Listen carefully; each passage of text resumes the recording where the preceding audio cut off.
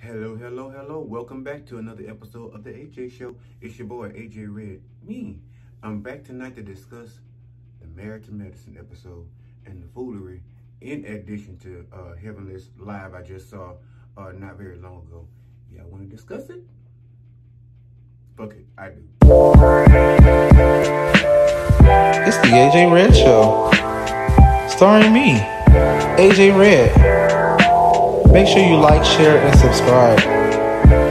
Thanks for watching. Now let's get into it. Well, what's going on? And welcome back to another episode of the AJ Red Show. It's your boy, me, AJ Red. Again, I'm back, like I said before. I can get my fucking head act right. I'm back again with another episode of the AJ Red Show. I'm gonna take a couple of days off, the weekend more than likely, because I was a little tired, a little pressed. You know, a little rundown. I had to get myself together. But let me first start by thanking those of you who have added yourselves as a subscriber to the page. Um, newcomers, please like and subscribe if you have not already. Share this video and all the others I have uh, in my portfolio. Also, make sure to um, comment down in the comment section and let me know what you guys think about each conversation or each video, each show that we have. Which again, I told y'all at some point we're gonna do this live show when I get y'all to, when I get a little something going, when I can figure out how to get these fucking notifications sent out. For those of you who have already subscribed, liked, and shared, I appreciate you, like I said all the time, more than you even know. It's because of you I keep doing this, um, and I'm loving it more and more. So thank you guys so much that have already liked, subscribed, and shared. Um, and the commenters, man, let me tell you, I'm doing my best, like I told you, to comment uh, respond to everybody individually to make sure I, I send out individual love uh, as well as group love. But thank you all so much. For, So anyway, I don't want to be too long. Jumping right into the episode of Married to Medicine Season 9, Episode 8. So basically, I I stopped making these episodes so long. I see they're picking up and everybody's loving them a little bit more. But this one I'm going to shorten down because I'm going to add a little bit on to the end because like I said in the preview, of this show tonight, um, I had the pleasure of watching Heavenly Kimes on her live on YouTube as well. And let me tell you, Heaven is still crazy as a motherfucker.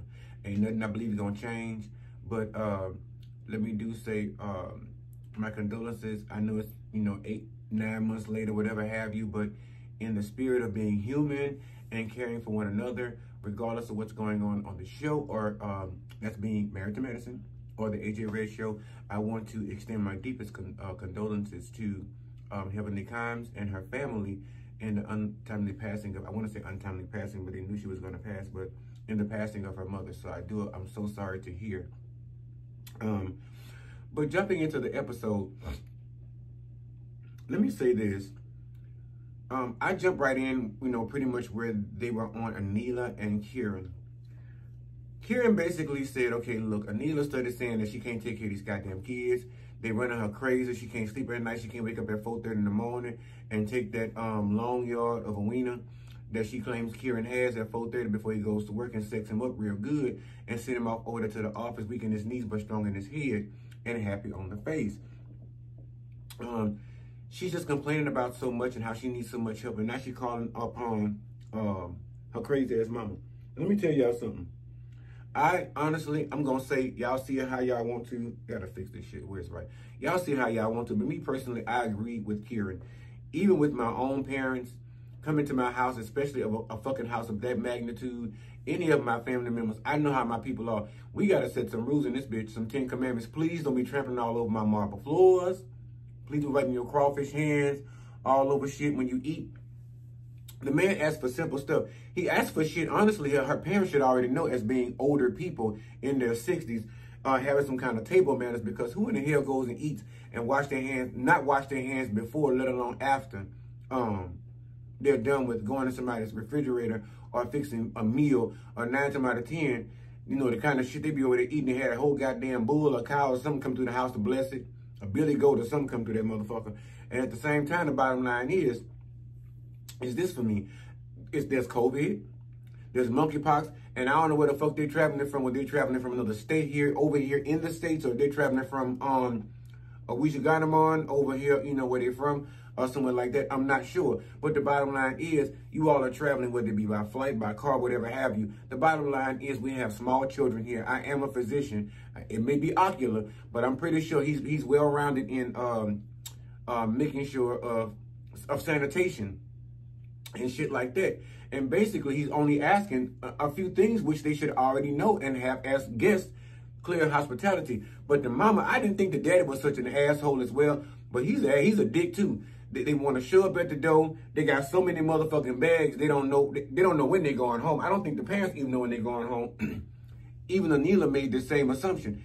They got so much shit look like they just moving in, and by the end of the episode, seemed like they was been, uh, building a mother-in-law suite or something for them. I don't know, but we'll put that on hold right quick on ice to see what that brings for the next episode because I don't want to take y'all too fast because I don't want to go too fast my goddamn self. But with the rules, you know, wash your hands, you know, pick up after yourself. How the fuck can you come live in my multi-million dollar mansion and you got shit all over the place, you know, uh, cow shit, uh, uh, uh, braised billy goat crumbs and shit all over the floor, oxtails and carrying on and whatnot. We don't, no, fuck no, we don't come for that kind of bullshit. You need to straighten yourself out and govern yourselves accordingly. I don't know what y'all do over there in Ashwagandha, but over here in Kiran's house, my house, you know, I understand where Kiran was coming from. Where he's coming from. Wash your goddamn hands. You can't wash your hands enough. Especially with all the diseases, and that's universal precaution. That's the first motherfucking thing you want to wash because it touches everything else on your body. And it feeds your fucking face. So why not wash your hands? They got into this whole thing about, you know, how, how they should take care of the kids. The bottom line is this. You took care of us one way, me, mom, and papa. Bottom line is I'm asking this for my kids. This is what I set up for them. And this is the structure I have for them. Please, if you're going to help me, stick to that. If not, I'll go hire a bitch that gets paid to listen to do what I say do. And once you don't do it right, I fire her ass and find somebody else or his ass and find somebody else. But they were like, well, out of the gate, we just got here and now we're arguing. It wouldn't be a fucking argument if you would just uh, uh, just bend to the rules.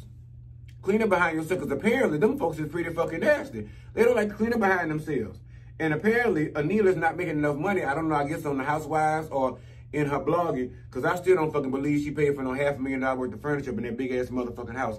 Y'all tell that to somebody else. I'm I'm going I'm gonna I'm to side with Heavenly on that. I don't think she's she she blogged a, a fucking half a million dollar worth of furniture in the house. But the bottom line is your parents ain't put a fucking dime over up in there. And if you can agree with some things about your parents with your husband when it comes to Kiran and how they act and move throughout the house and how they should be respecting this man's palace, because over where they come from, that's their kingdom. Over where y'all's are at over here in Atlanta is his kingdom. He makes sure his kingdom is clean, polished, and all that shit and paid for. So how the fuck you gonna come down here and tell this man how to run his mammy motherfucking house? I don't understand. And Anita, she needs to get on board. Um, Talia was getting on my motherfucking nerve, as usual. She just as bad as Anila. I agree with what I saw on the live. I think with Heavenly, she was they were saying something about her and Talia need to be friends. I, I take that back. I don't agree. I think Anila and Talia found each other in the perfect spot of their life. They both just want to be tag-alongs and, you know, want to show up to the thing and rip the man and all this different shit. When it comes to the man's opinion, if it's disagreed, you know, if, if they don't agree upon it, it's a problem for them because they're not getting what they want, which is fucking ridiculous. I don't understand this happy wife, happy life shit. That's why a lot of motherfuckers is getting left in the dust now. If you want a motherfucker like I tell you at the end of my videos, don't ask nobody for no shit you ain't about willing to give. Don't ask nobody to make you fucking happy. You should be happy on your own and willing to contribute to theirs and them likewise. So with that being said, tell you to get up off a motherfucking Humpty Dump and find a better job or another job in addition to the Real Housewives, uh, I'm sorry, shit, the uh, Married to Medicine show because clearly a lot of these other women have money on their own and not just from the show. This this show money on here is just pocket change for some of them, especially like uh, Jackie and Simone and probably even Contessa. And fuck, at this point, Heavenly with Dr. Damon on her side and her flipping properties the way she doing. Here, like I say, Tanya get up off of that thing and going up over here to uh, Heavenly's house and reunite with Heavenly. Her and this, this uh, dipstick over here, this uh, double D's and dits right here. Well, it ain't really double D's, but uh, Ascension A's and absent-minded need to get up, go over here, and sit over here to Heavenly's house.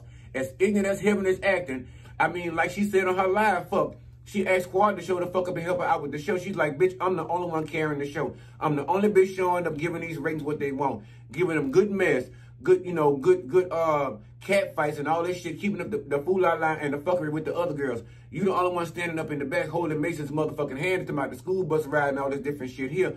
Over there cooking all them goddamn meals for Miss Mary Little Mason. Uh, having to say, meet her down to the goddamn production room and figure the thing out so y'all can get some fucking credits to make sure y'all will be sitting on the fucking shelf when y'all go to film for next goddamn season. And we sitting around waiting to try to see if y'all gonna come out on the goddamn, on the, on the telly. So Quad, get your ass up off of that thing and go on over there to that girl's house and uh help that girl carry this shit. Talia, you need to get up and make an appointment. You and um Ascension A and absent-mindedness, y'all need to get up and go over to this girl's house and, and take that financial class. Because Toya keep flipping motherfucking houses anyway. I'm pretty sure that's why Eugene, like, he about to be mad up in the next segment and about ready to leave her motherfucking ass in the dirt because he tired of all her fuckery and all that yakety, yakety, yakety, yakety. Apparently, he was one of them ones, too, that was believing strongly in happy wife, happy life. And now look where, look where it has led Eugene. It has led Eugene to the point of this big mouth yuppie over here on the goddamn TV screen, not just last season, but also this season, talking about how small a man's dick is. I'm talking about how the man belongs to the small dick committee. All this other extra bullshit. Me personally, Eugene, shout out to you. My personal thing is, and my whole focus is, in my opinion, is personally, I would have went on here and divorced the motherfucking ass the minute the motherfucking shit aired. Bottom line is, don't get up on no goddamn platform talking about my dick unless you're going to say something nice about it. And she ain't even call it a dick, she called it a, a penis. Penis is don't ain't the same thing as dick. That's not the same thing. Those are two different things. There's dingaling, there's penis, and there's dick. Period. And we all, if I got to categorize it for you, then you need to go go check the shit out for yourself. Maybe I'll give you a class or something on this shit later. My hair is really bothering me. I fucked around and did some shit to it, take a shower, and I just left it like that. But anyway, at least you know I'm clean. I took a bath, my ass and water. But she need to get up over there and find out how to flip them houses from Heavenly and find out something to do because sitting around on this show, kicking up dust, giving a motherfucker, instead of talking about this man's dick, well, this man's uh tattletwacker dingling or whatever on his camera, it's not gonna cut it. And you started bitching upside this man's motherfucking head about him not having enough time with the kids and all this bullshit. Yeah. The bottom line is, again, get up off of that thing, take your motherfucking ass down there to the unemployment office, and whatever little degree you got, y'all drop down in the comments to help me understand, because y'all ain't never did that shit yet. If anybody knows the skinny on what this one here really does behind the scenes other than hold that goddamn peach, I think somebody said she went to school for education. Me personally, I wouldn't want Toya teaching any of my kids any goddamn thing. Um, and maybe that is what she does. Maybe that's why she stays at home with the kids and actually homeschools them. I don't know, but drop down in the comments. Let me know if you know for sure. But the bottom line is she need to take her motherfucking ass down there to Georgia workforce and let them hook her up with a job over there, education to go to school, or at least be an online school teacher and put her kids and enroll them in that same school district so she can keep an eye on them at home, teaching their shit or do something like that or keep a tutor around or something or another. If you're going to spend Eugene's money, at least spend it on something more motherfucking wise than Fendi, Gucci, uh, or Louis Vuitton, or trying to buy the next biggest, bestest motherfucking house in the neighborhood or beside one of your friends there on the cast. But she really got up under my skin, getting my motherfucking nerve. This man is taking a moment to himself, sitting out on the patio, having a little sympathy, looking at the game, trying to have a little time to himself while she's saying, oh, he works 12 hours and he sleeps 10. Well, I guess so, because you fucks the shit out of him with the, with the dangling for about three, four hours, and he ain't getting very much rest down to the house. He got to go work 12 hours to pay these goddamn bills and all this shit you keep running up on the credit cards about to put y'all back in the fucking red when it comes to the finances.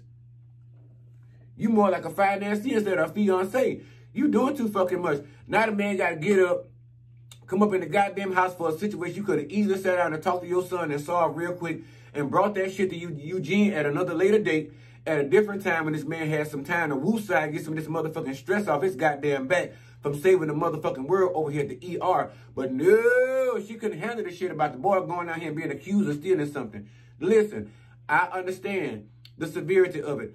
This is a very tumultuous time. This is a very strenuous time when having these young boys out here being accused of different shit, especially when it comes to something like stealing amongst the community of white friends. I get it. But within your household, you have to manipulate that shit. And what's that word I like? It's a funny word. Um, finagle shit in your.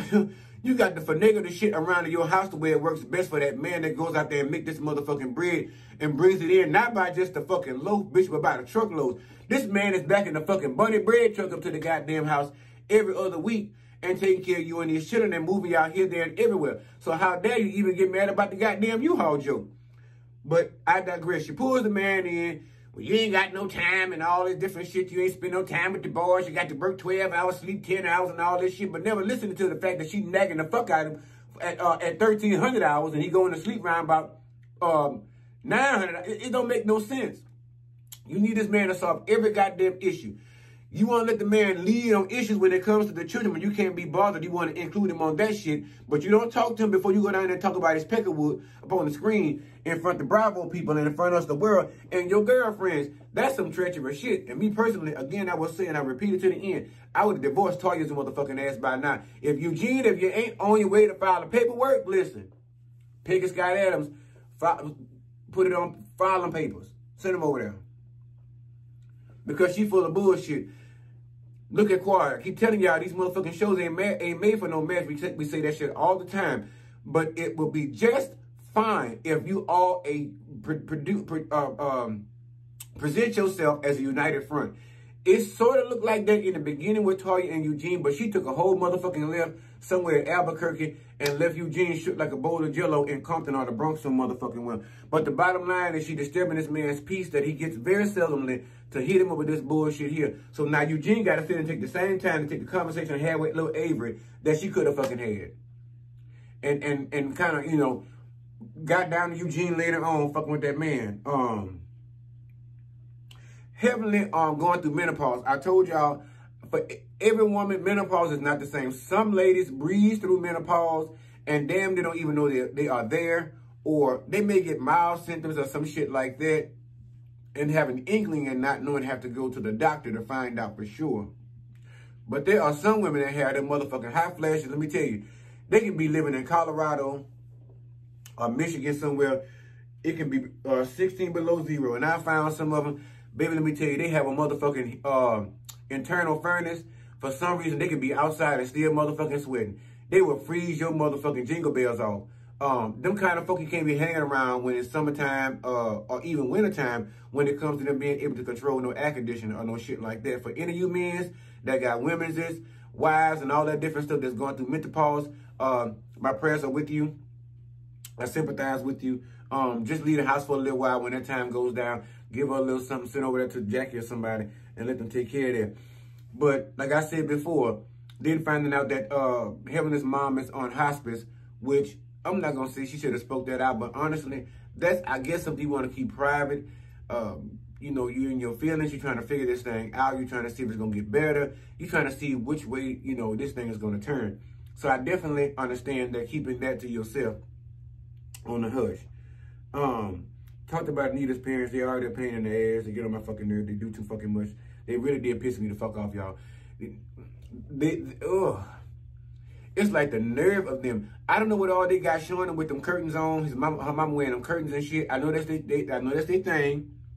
And that's my motherfucking joke. Take it or leave it. If you don't like it, then swipe left. Keep it moving. That's where I'm at with it right now. Because if you don't know me by now, you never will. But mama coming through with them goddamn curtains on and shit, acting a goddamn fool to me what she not gonna do and this and that and the third. It was just getting on my nerve.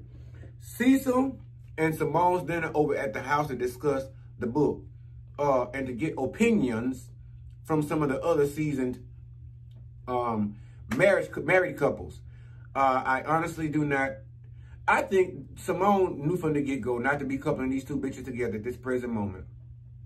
Um, and while I'm in, while I'm, while I'm talking about that um, that part of the episode, let me just also further mitigate. I watched again Heavenly Show probably a couple of hours ago live on YouTube, and um, in this episode, she mentioned about what in her life she mentioned about the episode where she and Damon was actually kind of already pissed with one another, having a conversation about with her mom being placed on hospice.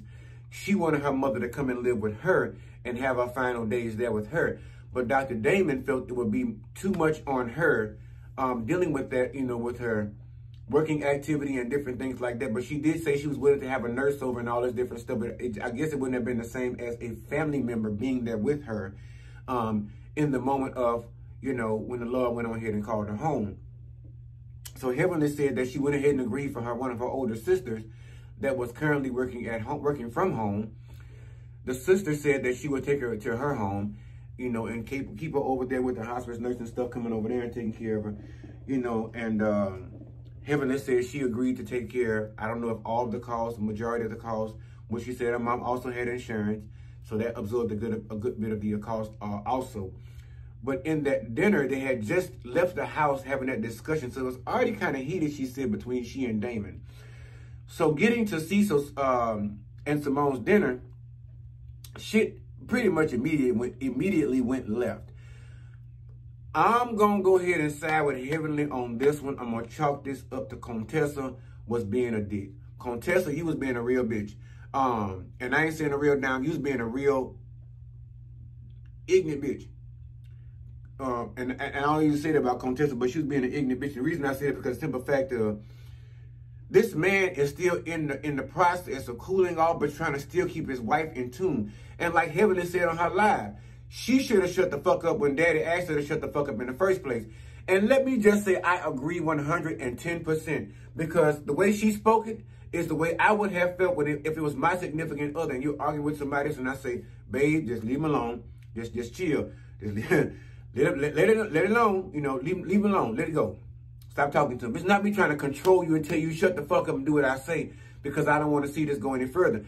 Part of it is that, but it's part of it that is if this person themselves are probably their significant other or any other motherfucker in the room, ultimately, I'm going to be the bitch to defend you to the death. So with that, to keep my sanity, my life, my freedom, I'm asking you to help me keep all of that with a simple you know, cuss the bitch out in the car and tell me all about it. I'll listen to it. But right now, don't egg that on because that's pissing me off and I'm already pissed. And to see somebody, now I'm mad with you, but to see another bitch jump up and whoop your ass, because I know you're down to my 10, you can't fight. But another bitch to drag you through this goddamn living room up under this diamond din, uh, dining room table around this braised duck or this goddamn lamb chop and shit everywhere. I'm asking you to chill so that I don't have to get out of character and possibly say something to this woman or even her husband or his husband, whoever the fuck it is, that is coming to their aid because now the shit is up there because now I'm on your side. We a united front and I'm finna fuck up the thing for everybody. So I understand that. So ladies, gentlemen, when your significant other asks you to stop arguing with a bitch, it's not we trying to tell you what to do. It's that we trying to keep ourselves out of prison. You know, because we probably have a tendency to snap and ring a bitch like a wild chicken in the backyard at Fresh Farm somewhere. So we just asking. We just asking. But moving on, Contessa just kept feeding into why Damon was trying to, ask a, a husband to Heavenly, quietly but uh, respectfully, um, kind of tame his marriage and tame his wife and keep her on the respective side of things. And to where, you know, it wasn't going to be all this confrontation and blow up as I just, um, uh, just mentioned before. But Contessa from the other end of the table is constantly saying, Yep, right. You talking about you talking about heavenly because you're not talking about me. You're talking about heavenly. Then she also, which which pissed me off because, like I said, anybody gets into it with Dr. Damon, including heavenly, bitch. If you make Dr. Damon mad, I don't even know this man personally. Have never met him a day in my life. Ain't never spoke on the phone with him. But I've seen this man and his character. I feel like he's like Greg. Now, Greg, Greg Leak was a little bit quicker to get off the lid. But Damon is a very subtle and a very uh, level-headed man. He speaks his thoughts in a very eloquent, eloquent way, and you know, uh, a, a, way where there's not motherfuckers ain't confused for you dummies and for you educated ones. Let me make this shit plain. And for you to give him slack, it's like it's something totally different. And I did kind of feel like maybe she was disrespecting Damon and trying to keep the shit going. But again, now you about to activate Scott you know, if, if Damon says the wrong thing or he, he uh, Scott feels like the wrong thing and said the contestant out of context, that activates Scott. So now we, we all got it. We all be some fight motherfuckers in here this evening, like Vera saying. So with that, with that, you know, being said, I'm glad he did the the, the right thing and told told his wife, you know what? You already pissed me off. This bitch over here pissing me off, but I can't do nothing about her. That's her man over there. They, I let them work that out. But as for me and you, we got to get them going. We got to go before I fuck around there and pop off and some shit got to happen. So they ended up leaving, getting the fuck on up out of there and, and having a whole debacle. Uh, Heavenly and Contessa had a whole fucking fit on one another talking shit. They went on outside. Damon threw her motherfucking ass up in the truck. And apparently Cecil went out there to see Dr. Damon off, you know, and make sure he was feeling right in his mind. But that Heavenly sitting behind him in the car like a damn five-year-old, wait for daddy, wait for daddy to get in the car and drive her home because she couldn't play well with the other girls down to the table. Same thing Scott should have been doing. Check your woman. If you want to get her and, and check about some shit, Scott, you should have checked that shit and told her to cool the fuck out. Talking about she got the same credentials as Dr. Damon. Listen, be that as it may, the bottom line is, if that's the case, you should have had the same amount of motherfucking sense as Dr. Damon and use your professional side and, and bow the fuck down and let that shit go and let that man say his shit and get his wife in check. And then you can laugh in his bitch face. Ha ha hee hee. I bet your daddy got that ass in check. Not that night, but another night. You could have laughed that shit off. But you wanted to go over for overkill, so the shit went another way. Dr. Damon went on through what's the name in the truck, through heaven in the truck, told heaven and look, just don't fucking talk to me for 10 minutes because I got the cool off. Because you and this bitch done got my nerve ran high. Um, it was funny with Cecil with that non-disclosure uh, situation. My whole thing is I don't know how the fuck he plan on giving no non-disclosure form. Uh, even though I think it came out as a joke, but the bottom line is, even if he had been serious, the bottom line of it all is, shit, we all see it on Bravo and the shit done played the fuck out, so what the fuck was gonna be a non-disclosure for? You should ask Bravo to sign that, just like they probably had y'all sign one. Ooh. That's good. Um, uh, I believe final situation that I was interested in. So, you know, they all throw a little something. Jackie had been telling her she wanted to get them to come by her joint, check out some shit down to the clinic. She threw a little soiree, a little puss party. And when I say a little puss party, they call it uh, the V-Hive puss party. Beehive my ass. It was a puss party. It was a puss rejuvenation party. For all the ladies that wanted to come out and get a couple of shots, they draw the blood, get the platelets out of there, some other kind of shit that Jackie discusses and explains to y'all. If you want to know all about it, go down there to her thing and see if you want to get your puss rejuvenated. I think the cost of it is $2,500, but all these bitches got it for free with the exception of this bitch here because she decided to let her mama tell her what the fuck to do. Wouldn't have worked for me. Bottom line is I'm a grown bitch. And me personally, my mama would never tell me no shit like that in the first place. And even if she tried to, just because I still want to get my freak on and make it better in bed, and, and, and to let you know I'm grown, I can still do what the fuck I want. I'm going back here and get it plugged up anyway. Stick the puss. Now that shit they, they got they got one for the, for for the danglings for the dicks, but I'm not even doing. I'm not even finna go that fucking route. I'm I'm I'm I'm straight. I'm good. Trust me. I'm good. Don't need it.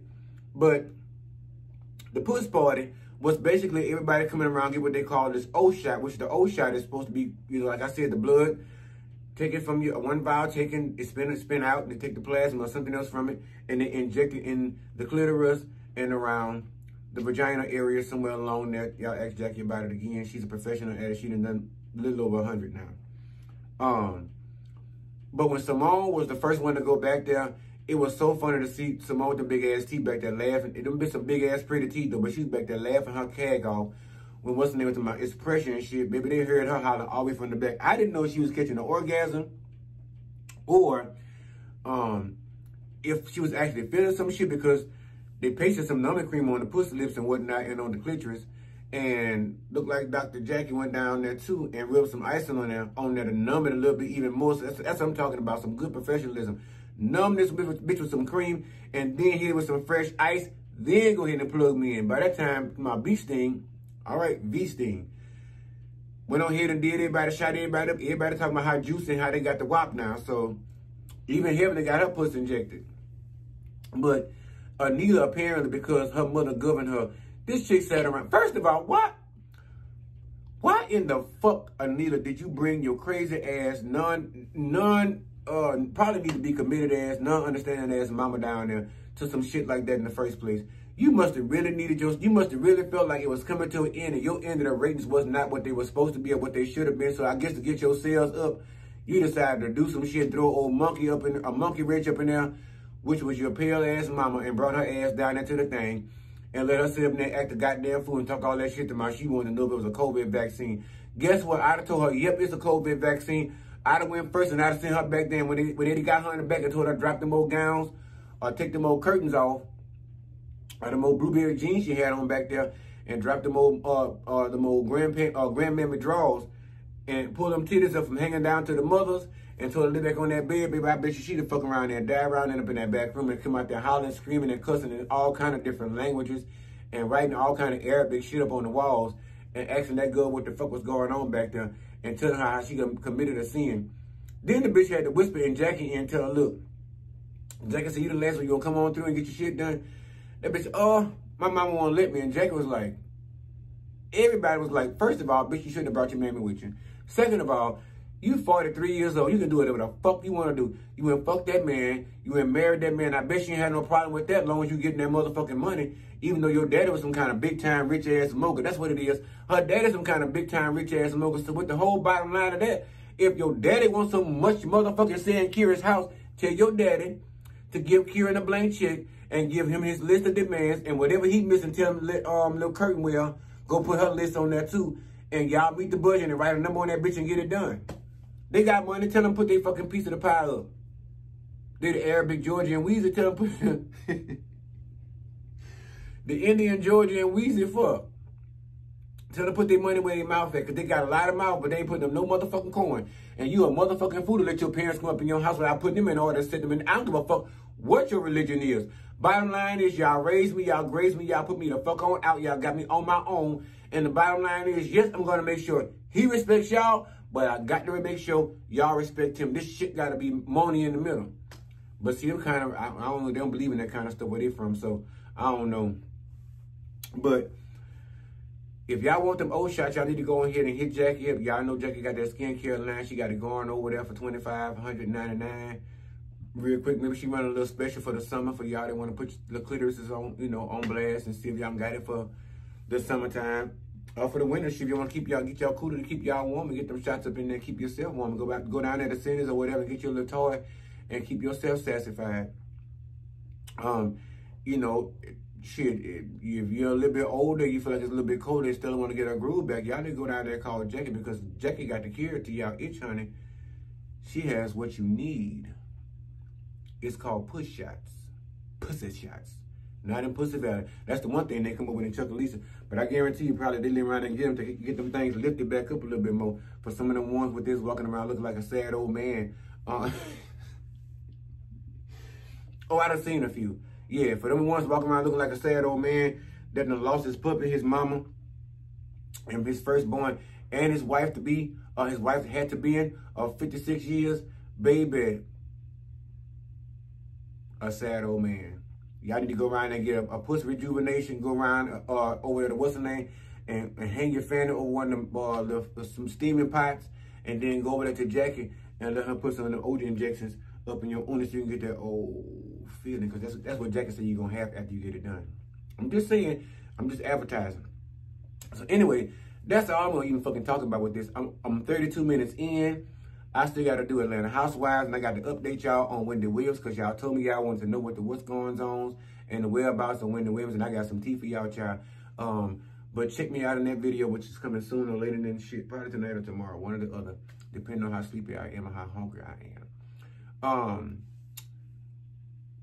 for those of you who are new to the channel, remember to go ahead and now hit that thumbs up to like hit that subscribe button so you get these notifications and these videos when I upload them so you can see them firsthand and be one of the first ones to come in and let me know how you feel about the episode of Married to Medicine or the AJ Red Show or any of the other motherfucking shows I have in my portfolio. Go ahead and go back and look at them because if you like if you like this video, you'll like all the others, I'm pretty sure. For those of you who keep saying y'all cannot hear me, I don't know what in the hell is going on. Listen, I'm gonna say again, like I told my coworker over there at the lab. Listen, Miss Ina, uh, check your battery. Turn that volume, turn that volume up.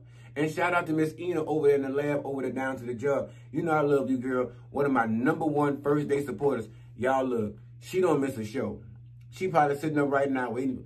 Is this, is this nigga gonna post something? Yes, Miss Ina, I got you. Shout out, big shout out to Miss Ina. That is my girl. But um, and for those of you who already subscribed, thank you, thank you, thank you, thank you so much. I really appreciate you guys. Like I said, words cannot even express. But when it comes down to these giveaways I'm about to start giving out, I'm going to be able to express it, yeah, to the biggest uh, supporter. But anyway, share with somebody you know. Share with somebody you don't know. Share with somebody you like. Hallelujah. Share with somebody you don't like. Because if you don't like me, I'm pretty sure somebody else will. I guarantee it. It has not failed me yet. I believe in that shit. And it has not failed, right? love on yourself. Love on somebody else, but only if they're willing to love on you the same way back. Oh, hallelujah. Anyway, I got to go, y'all. I got to get the hell out of here, get these other videos posted, recorded and posted, so I can keep this thing going. Y'all love yourself. All right, holla.